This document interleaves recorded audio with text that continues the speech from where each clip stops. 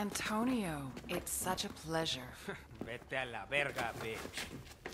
Stop flirting, you little slut. The fuck is this? Christmas, You didn't hear the news? News about what? your death. Apparently, you OD'd. You want me to... I want to see your brain on drugs, pendejo. One way or another.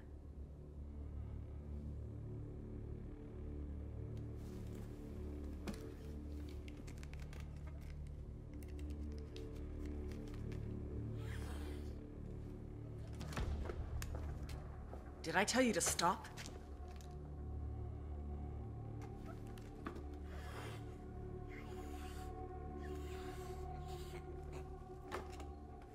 Keep going.